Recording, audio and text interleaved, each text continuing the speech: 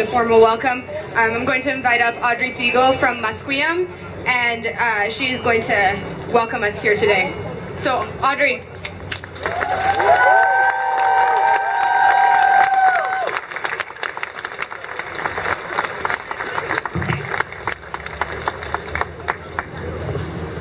All right. Hi, everybody.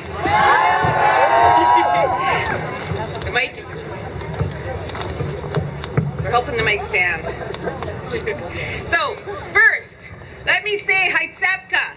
Haitsepka to each of you for being here, for caring, for loving, for being who you are, and for showing that Black Lives Matter. Thank you for showing us what unity looks like. Thank you for being here and being an example of what unstoppable looks like. Mitsap Patwilam Atanash Mathblimas Tamo Tina Whale. Ike when Ishquella and Squincy Quitsnala. Slam Tanak when a squeak, August, Leth. This language shouldn't exist. My culture shouldn't exist. My people were not intended to be here. Even I, as an indigenous woman, a woman of this land, I'm not supposed to exist, just like you're not supposed to exist. Yet, here we are.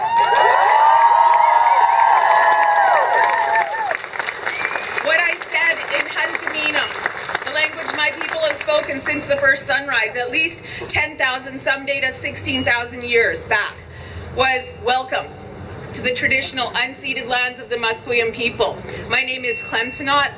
I am from Musqueam. I am the granddaughter of the late Stephen and Selena August, and it gives me feelings of great joy to be here with you today. People have heard me say these words countless times, but I will assure you that every time I say these words, it doesn't just honor my ancestors, it honors you as well and your ancestors.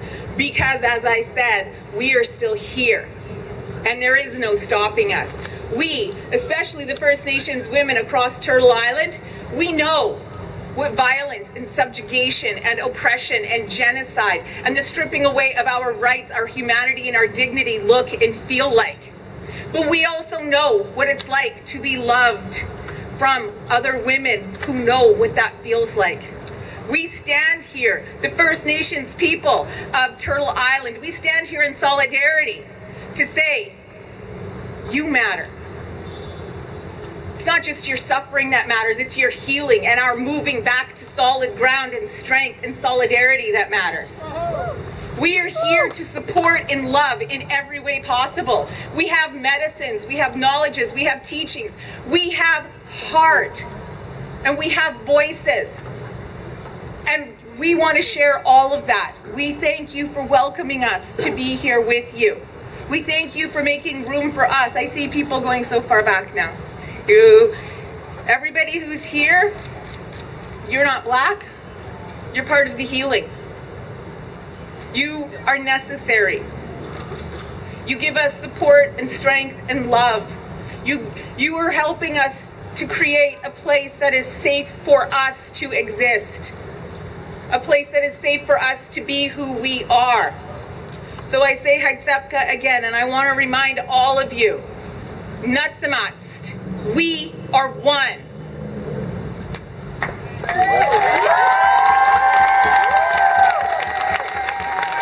To the organizers, to Combi, we've had back and forth about whether I was going to be able to make it, and the, the, the clouds parted, the sun came out, and my schedule was like, I can be there. So I would love to invite you all to sing a song that came to Martina Pierre in a sweat 30 years ago.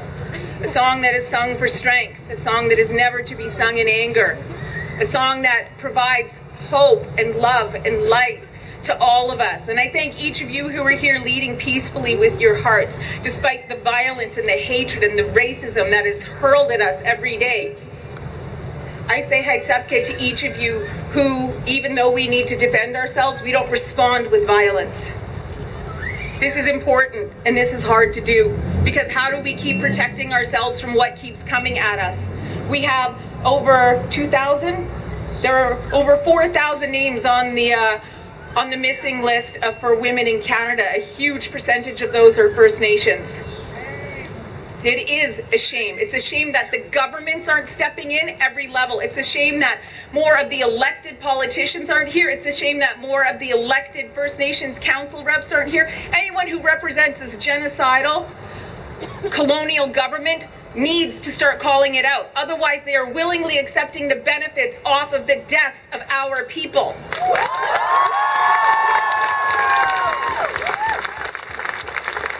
My intention isn't to throw anyone under the bus, but when your actions are neglectful to such a point that it's costing people's lives, innocent people's lives, I challenge you, stand up to the system.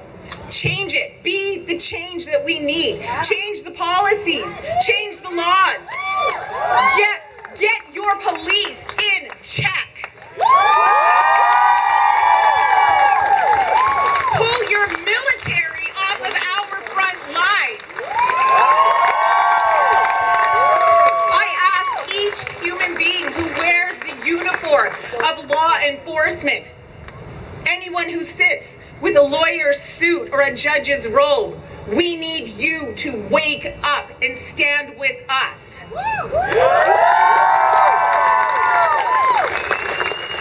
We are willing and capable to lead the way. It is only right that we lead the way. But we need warriors on every front. Stomachson, I am a warrior. We are all warriors here today, and we need warriors on every front to, to ensure that we are all safe that there is inclusion instead of exclusion, that there is love instead of hate, that there is acceptance instead of racism. And it is possible because my people lived that way for over 10,000 years. It's not just a pipe dream. So each of you keep doing what you do. Keep uniting, keep having your rallies, keep using your dollars to speak. These corporations, these governments, they understand dollars. So let's use our dollars to make those changes. Let's be smart in every way possible. And now for the Women's Warrior song.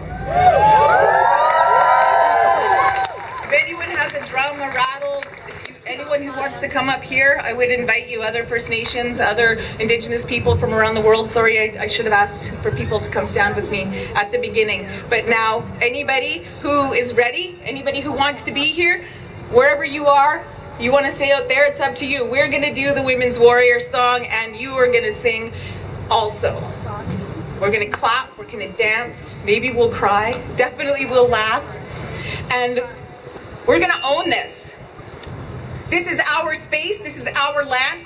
We have rights, and we will make sure that we are safe. So let's do this.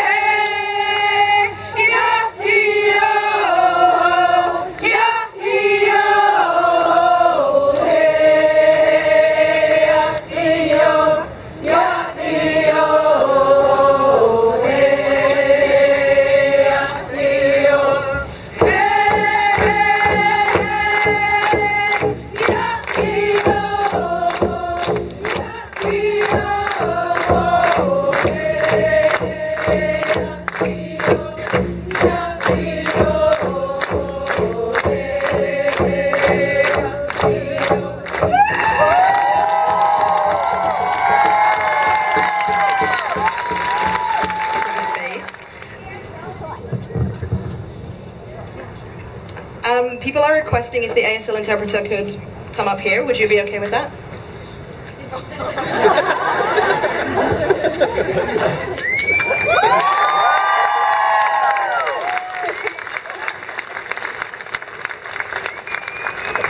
Thank you. Thank you very much.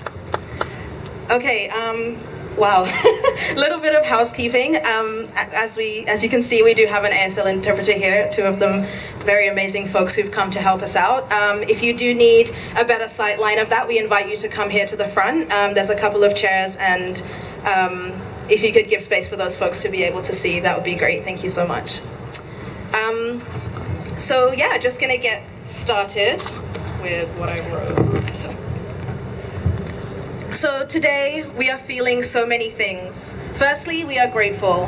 We are grateful first and foremost for the generosity, kindness, and unwavering extension of welcome from the Coast Salish First Nations, whose lands we work, organize, and live on. We want to offer more than an acknowledgement because so often they are empty and tokenistic and do not do justice to the ongoing decolonizing work that our Indigenous friends and family are doing on a daily basis. Nor does it acknowledge the challenges that Indigenous communities, especially here in the urban centre of BC, face on a daily basis. Black Lives Matter started as a retaliation to police brutality.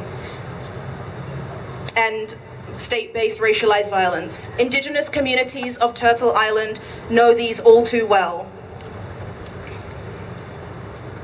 While we remember black bodies mercilessly taken from us by police brutality, we must also remember the violence that Indigenous communities face from the same forces, especially the missing and murdered Indigenous women, which Audrey has already spoken about, some of, some of whom were taken on the very streets that we stand on today. We'll be donating $100 to the Urban Native Youth Association and we encourage you to all do the same or similar.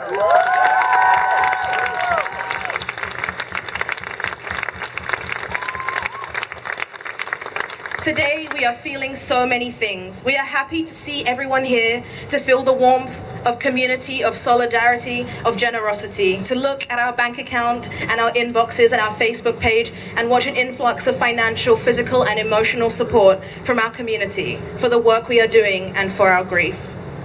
We are also feeling a lot of confusion and anger and hurt and sadness and despair. Why does it take our bodies to be slain to remind people that Black Lives Matter? Why does it take events 3,000 miles from here for people to commit to anti-blackness in this city? Why does it take the death of us for us to be valued in life? Why must we sacrifice some of our own, our friends, our brothers, our parents, and our children to have a semblance of the acceptance and love that white people have every single day? Today, we are feeling so many things. In 2015, 346 black people were murdered by police in the US.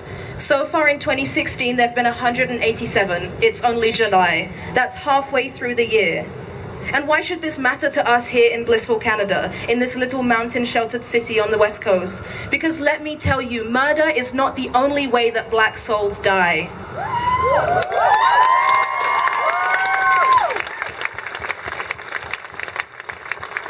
I have died a thousand times already. Every time you say slavery never happened in Canada, a piece of me dies. Every time you say all lives matter, a piece of me dies. Every time you ask me how I am, only in relation to the deaths of my community and never because you care about me on a regular day, a piece of me dies. Every time you share a video on Facebook of someone who looks like my dad or my uncle or my brother being murdered, a piece of me dies. Every time you speak over me, tokenize me, help yourself to my hair and my body or wear my culture as jewelry, a piece of me dies.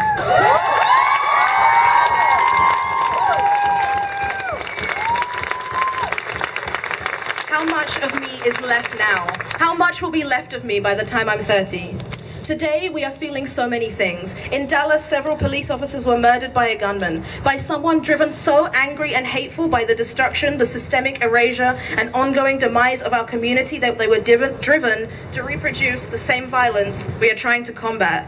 Black Lives Matter has committed itself to non-violent action and has not once wavered on this. We have sat, we have marched, cried, laughed, protested, written, shouted, and gathered, and loved each other, which for some of us is the most dangerous form of resistance. We are sad to see that the actions of this individual have been associated with this movement and want to fervently say we do not approve of these crimes and are surprisingly appreciative of the VPD's discreet commitment to our safety. Today we are feeling so many things. The exhaustion of repeated loss and having to always organize around that.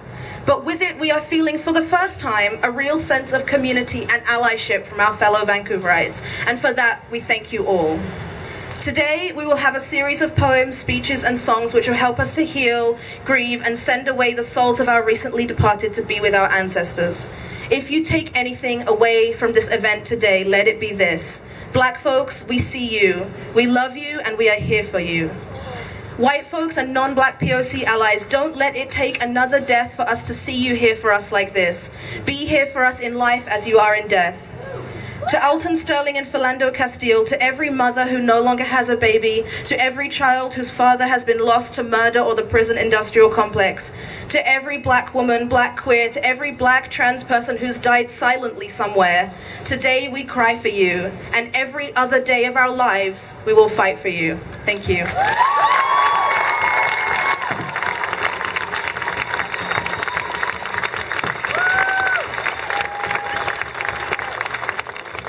Alluded to just now, there are many names that we don't get to hear about. There are many people who have died at the hands of police that we will never know the names of, and uh, many of those are women, black women, black trans folks whose names just don't make it into the media. We hear about the black men, but um, as an organizing group, actually, we are made up of black women and black queer folks, and so what I want to do now is I want to say the names of the women who we lost to police violence last year in the US. So what I will do is I will say, I will say, say her name, and then I'm going to read out a name, and then after that, after each name, I would ask that you would also say, say her name. Uh, along with me, and then I will continue to read this list of names that I have. And these are the reported names. These are the names that we could find. They are probably not all the names. Um, there are many more that are happening every day. Uh, and every day we just get more names to add to this list, and it's it's not okay.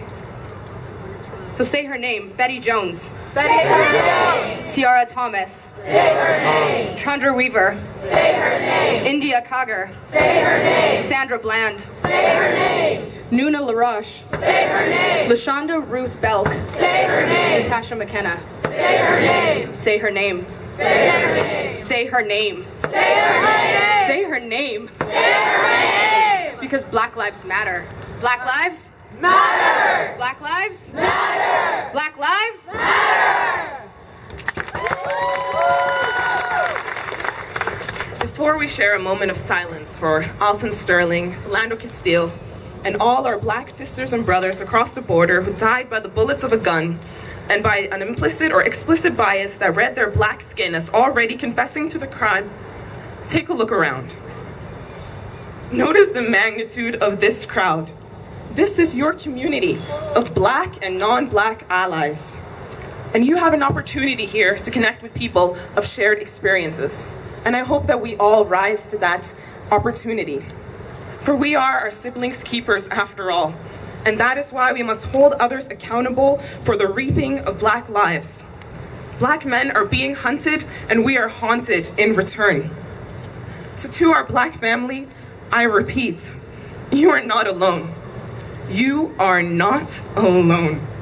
We see you, we honor you, and we stand with you as you stand with us, through life and through death, through grief and through love. Now let's restore some human dignity to all those departed by mourning them together. It is a collective loss. Let's share a moment of silence. And if you have a candle, feel free to light it now.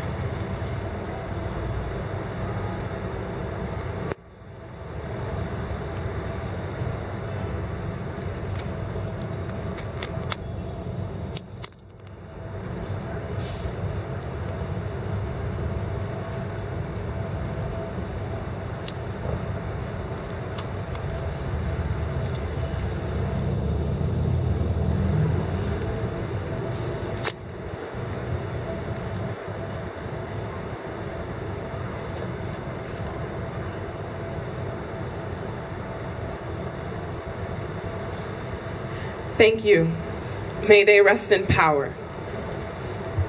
Next, I'd like to invite up Kombi from the African Great Lakes Association. Hello, everyone. Black Lives Matter. Black Lives Matter.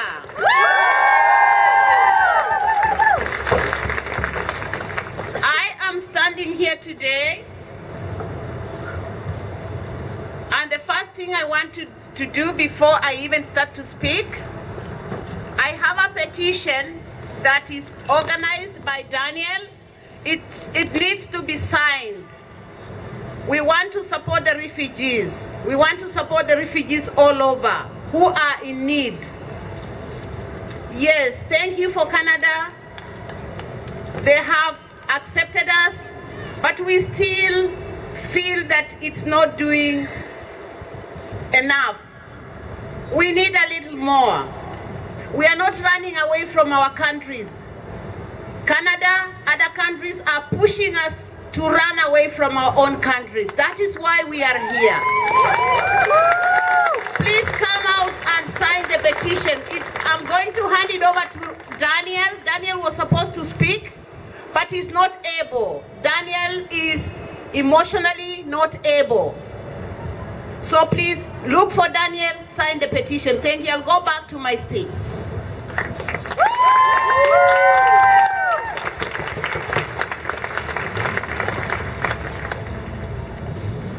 Like always in Africa, we are never in a hurry, so bear with me.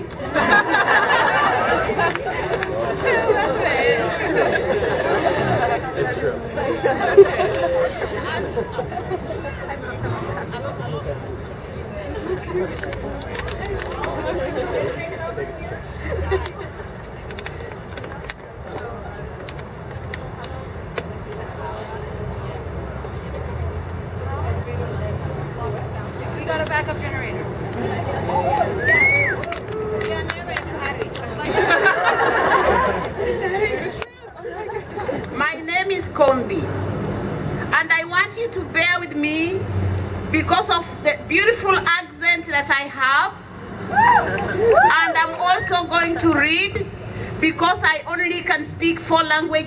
Originated from Africa, my mother tongue, and the few languages that we are supposed to talk while we are back in Africa. So I will read the English that I was forced to read and write. I am honored to be here today with you. When I was sitting on the computer at my workplace around 11:30, my second born, called me and said, "Mommy, one of us is gone." I said, "What do you mean, Daniel?" He said, "Yeah, they've killed our brother." Can you, mommy, quickly go and put it on Facebook? We want the world to know. I checked it out and yes, it had happened. I had a bad night thinking about the killing of the late Alton Sterling.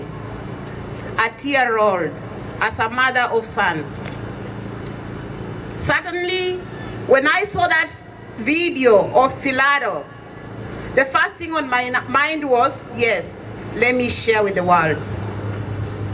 Because it had just happened 24 hours after the first shooting. So I put it on my Facebook for the vigil to be today. And I'm so happy, I'm very happy that the Black Lives Matter had to come by my side and hold me. Here we stand together as one.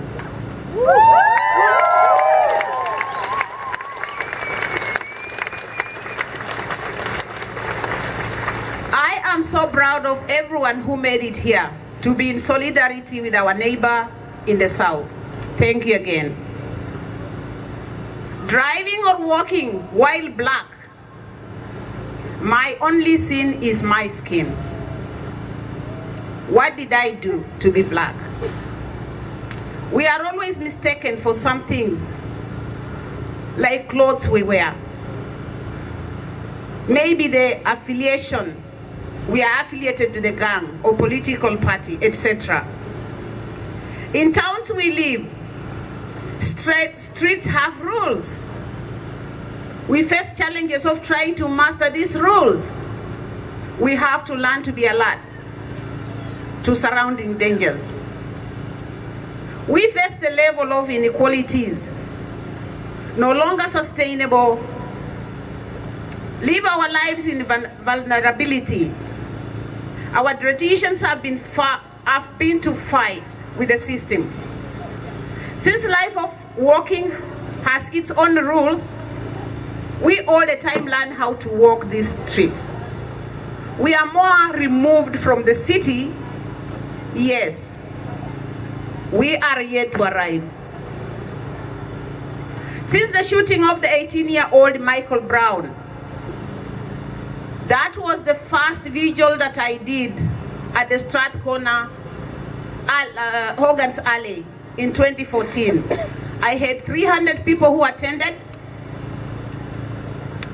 And when we go back and look at what happened, he was killed by Darren Wilson, who was 28 then. This just adds more wounds and death, suffering and fear.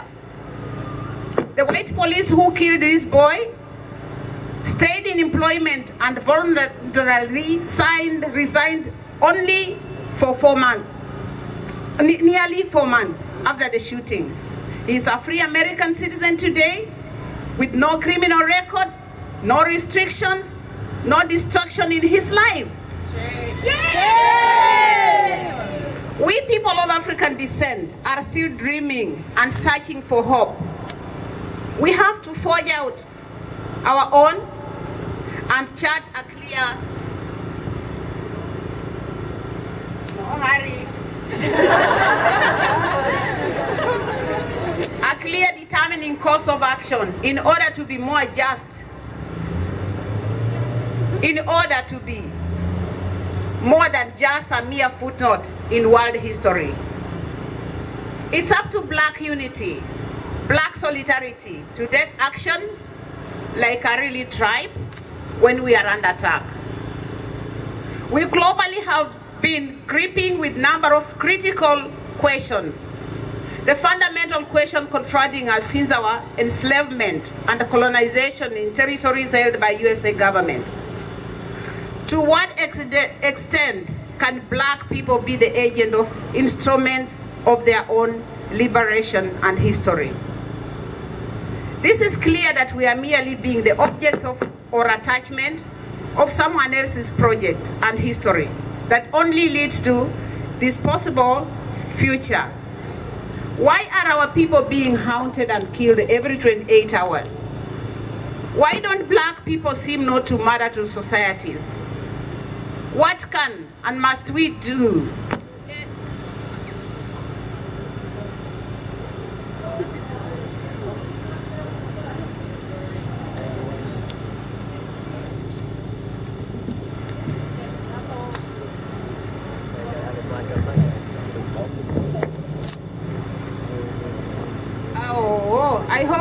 killers are not behind this.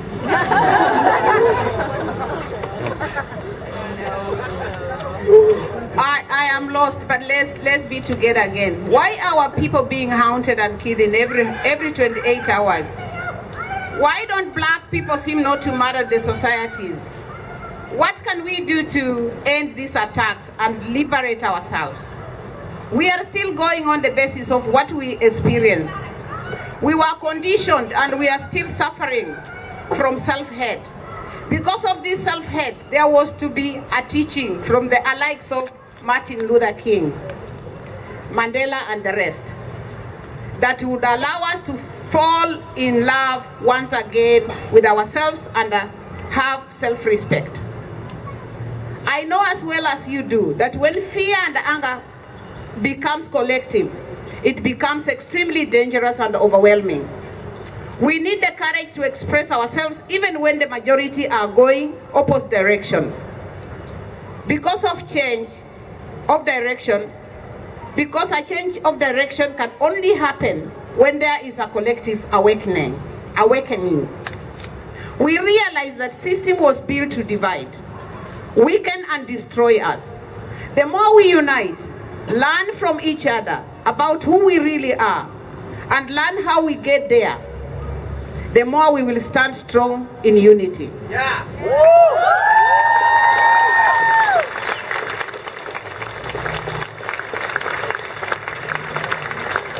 There has been no war that our people have not fought and died on the front line. There is no job that we have never done, no tax levied against us that we have never paid. And our freedom has always been conditional here.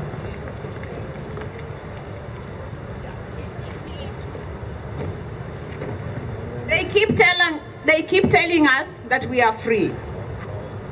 Freedom is always coming, and the year after. But that year after is a hassle. We have never seen democracy in America. All we have seen is hypocrisy. We don't see an American dreams. We only see experience, we only experience American nightmares. The world today suffer a lot, not only because violence and action of bad people, but also the silence and the inaction of you people. If you will be silent, if you're not taking an action, you are as good.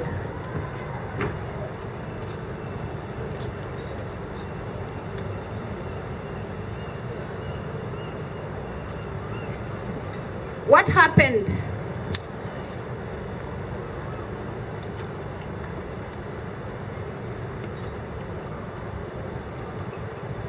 We, the black people, people descent, all over the world, we are the people who never tells our own story. Our story is told by Europe, America, the CNN, Radio Deutsche Welle. We are not made to celebrate our own culture and history, but Hollywood culture. If we can start to begin to make a contribution, we should start to think. The simple question that I'm asking all of you, are we thinking?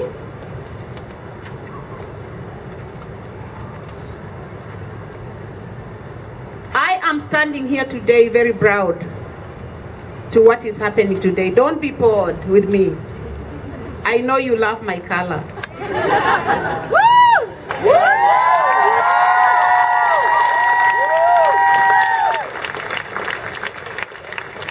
I will just add on what Audrey Siegl said to you today. I was crying in my house when I asked her to come and officiate this. I said, Audrey, come.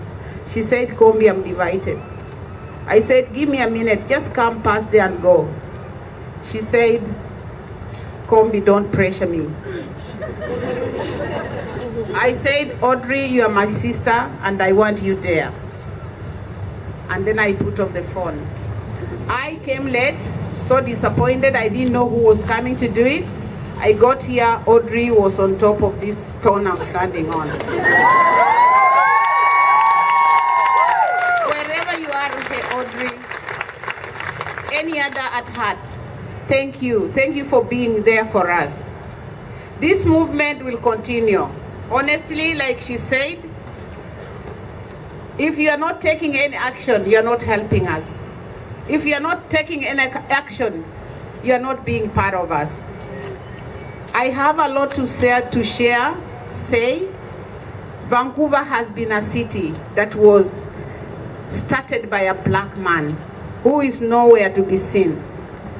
And if I'm lying to you, we have people here who can say it, that uh, Vancouver, the families that started Vancouver as a city were the families from Afri- people of African descent. When I learned that, because when we arrive here, we are, we are told, go to Westminster, that is where you belong. That is where your church is. I don't know if they know they build it there or they're just asking us to go there. the church that we built in 19 that we bought in 1917 in Vancouver on Hogan's Alley stands today as a house. A shame, a big shame to the city of Vancouver for not protecting that institution.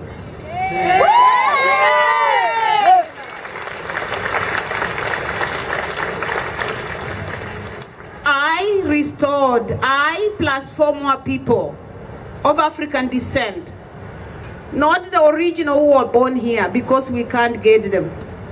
And I will never stand to wait until they come. I will. I started. We restored the church. We are meeting at Strathcona Community Center every Sunday today at three at three to five. We pay to stay there.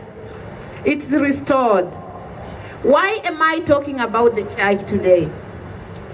I want you guys to go back in your computers and look at why I'm talking about this church today. It was a community center for black people.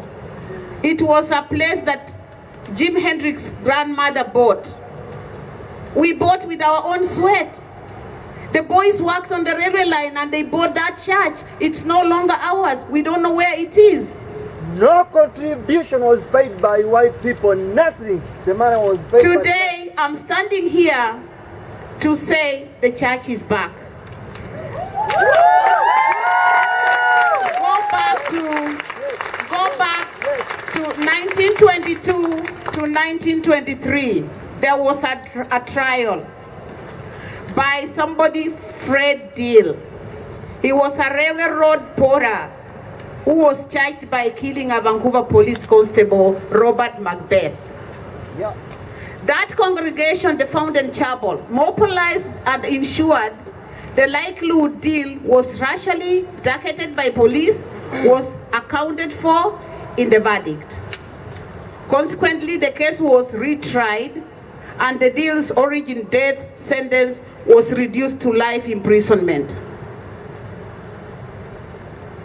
So look at what that church did. Can we come together and have something? I want you guys to support us. When you see these girls doing something like this, they are not doing because they have money. They just came from universities. So they need your support and your prayers. And I want prayers from you to me and the rest. Thank you very much. I'm sorry I took long.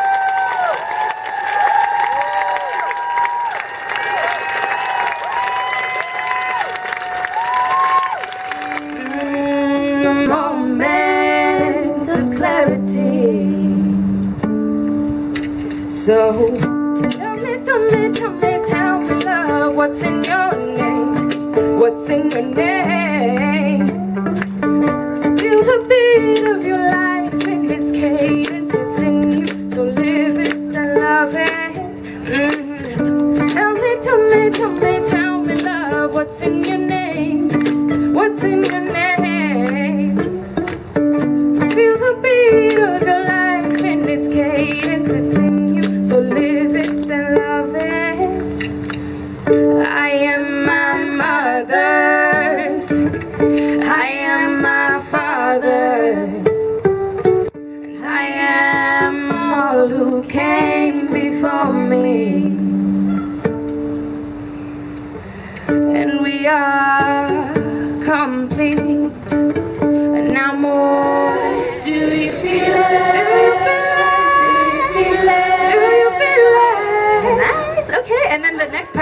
cover me with your hopeful wings. Feel serenity when you're holding me. Uh, what was it? Co- cover me with your hopeful wings. Feel serenity when you're holding me. From the beginning. Hope feels good.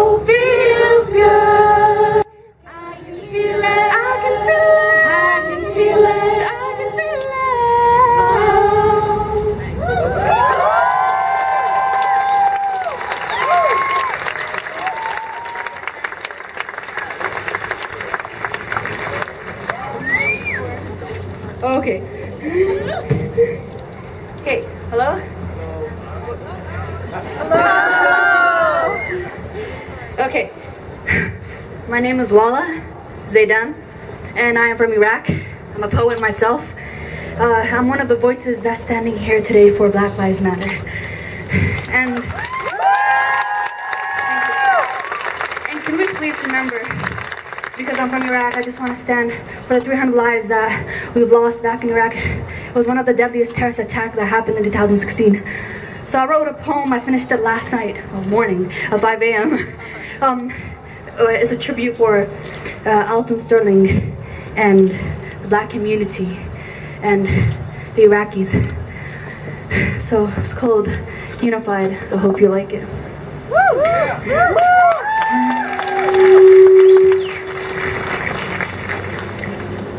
Okay. I've given every last word to this hungry mic. It has eaten up all of my emotions. My brain has become nothing but an empty white room filled with demonic voices, echoing Sandra Bland's name, screaming, My hands are up, please don't shoot. And I keep constantly thinking, where's the truth buried? My thoughts are trapped into these four walls built by guns and bullets, put up by men in police uniforms, decorated by Alton Sterling's blood. I carry his name and the other 623 innocent bodies on my shoulders. I carry the unheard and the innocent. I carry the injustice and oppressed. I carry the blood that filled Baltimore and Baghdad cities. I carry the roots of racism that's wrapped and attached to my veins. My body has become so numb and weak from carrying the world. Holding on to my every pain, I also carry your pain because when I see them, I see us. We belong in the same game. This is ours. We begged for freedom until it evaded us. We've been running after hope, but death runs after us with a hanging rope, only to find our voices hung. My words have given up on me. My tongue has become my tongue has become my own enemy, but I still won't be silent. That's why when I speak, I speak to Tamir Rice, Sean Bell, Troy, Davis, Freddie, Oscar, Michael, Bettie Jones, Leroy Browning. I speak them all. There are a unified voices unheard. Only the coffins, only the coffins their bodies are buried in knows their name. I saw their dead souls rising alive, yelling Black Lives Matter. They said Black Lives Matter. I say Black Lives Matter. Our soul says Black Lives Matter. The pavement their blood pulled onto says Black Lives Matter. The gun the police shot, the fatal bullet says Black Lives Matter. The tendons and ligaments, the finger of the policeman that pulled the trigger of the gun says Black Lives Matter. So we say Black Lives Matter. They all live inside me. Every night they crawl out of my throat screaming, set me free. With every breath my lungs inhale entrapment. Exhale injustice and restlessness. Infuses into my bloodstream not oxygen but the will to make it stop. Inject us with brutality toward the undeserving. My heart will pump the lifeblood of our movement. Our heart will carry our voices unified. Thank you.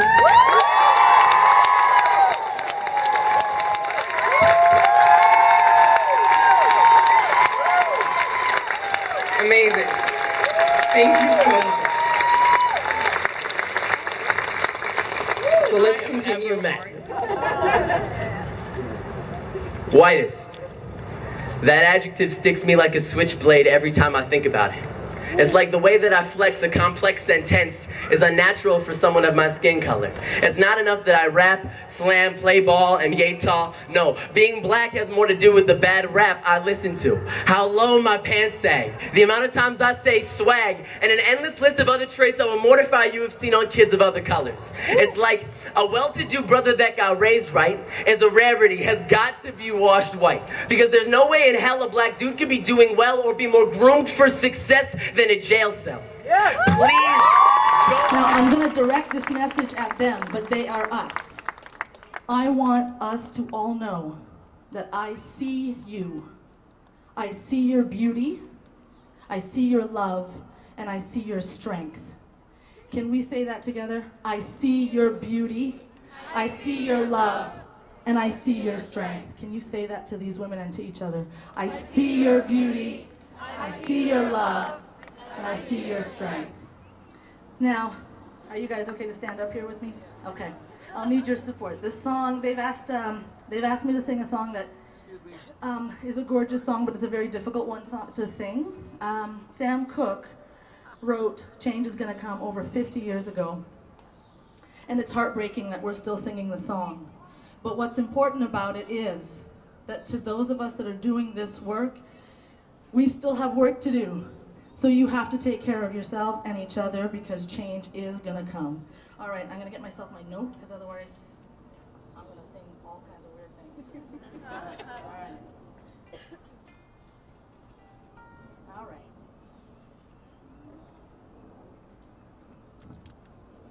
I was born by the river in a little tent and oh, just like the river I've been running ever since. It's been a long really validating our experience as black people, as black people in this city, to see the solidarity, to see the community, the generosity with which everyone has come here today, volunteers bringing snacks and water, all the signs that people have made. Please don't forget this moment. Don't forget the community that we created here today. Don't forget the people who have died at the hands of police brutality. Always remember them. Always remember each other. And please continue to support Black Lives Matter, both here in Vancouver and internationally. We acknowledge that we are in a somewhat privileged situation being in a city like this where we can do a call out and we can have such a peaceful and supportive community come and celebrate with us. And we need to continue to do work so that Black Lives Matter chapters in other cities can also have these same experiences. As we mentioned, we will be sending